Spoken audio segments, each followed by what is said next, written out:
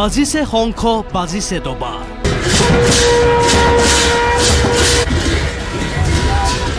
জাতি ৰক্ষাৰ স্বাৰ্থত ডিব্ৰুগড়ত অগপৰ শংখনাদ ডিব্ৰুগড়ৰ ৰাজপথলৈ ওলাই আহিল হাজাৰ হাজাৰ লোক।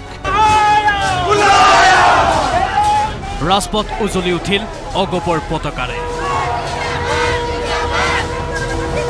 জাতি ৰক্ষাৰ স্বাৰ্থত প্ৰতিকূল বতৰকো নেওচি এনেদৰেই ৰাজপথলৈ ওলাই আহিল হাজাৰ হাজাৰ লোক। কোনোপধ্যে এসত্তৰৰ পিছত অহা লোকৰ বোজা নলয় অসমে। ধৰ্মৰ ভিত্তিত নাগৰিকত্ব দিয়া কাৰ্যক মানি নলয় অসম গণ পৰিষদে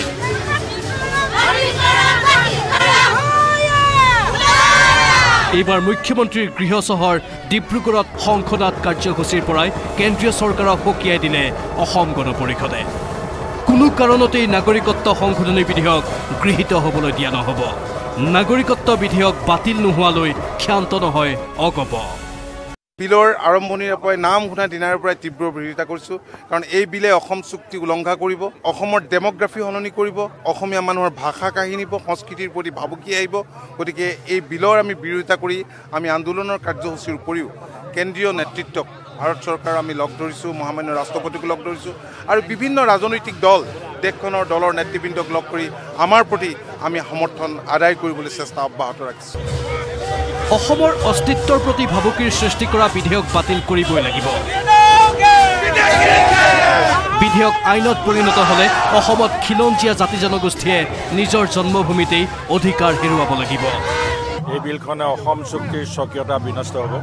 আৰু অসমৰ খিলঞ্জীয়া জনসাধাৰণ নিজৰ ভূমিতে সংখ্যালঘুত পৰিণত হ'ব আৰু সেইকাৰণে এই সংসদাত কাৰ্যসূচীৰ জৰিয়তে অসম গণ পৰিষদ দলে এই বিলৰ বিৰোধিতা সকলো স্তৰতে কৰা আৰম্ভ কৰিছে। আমি ৰাইজৰ সহায় সহযোগ কামনা কৰিছোঁ। ডিব্ৰুগড় পুৰণি চৰকাৰী হাইস্কুল খেলপথাৰৰ পৰা শংখনাথ ধ্বনিৰে বিশাল সমদল বাহিৰ কৰি বিধেয়কখনৰ বিৰুদ্ধে সতৰ্ক কৰি দিয়ে কেন্দ্ৰ। শংখনাথ কাৰ্যসূচীত অংশ লয় প্ৰাক্তন মুখ্যমন্ত্ৰী প্ৰফুল্ল কুমাৰ মহন্ত দলৰ সভাপতি তথা মন্ত্ৰী অতুল বৰা কেশৱ মহন্ত ফণীভূষণ চৌধুৰী আৰু অগপৰ আটাইকেইগৰাকী বিধায়ক তথা জ্যেষ্ঠ নেতাই।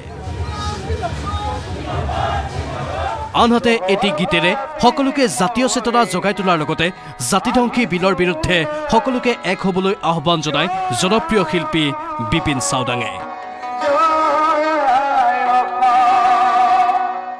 ডিব্ৰুগড়ৰ প্ৰাপ্ত মাছ Burhagohain news eighteen Assam north east.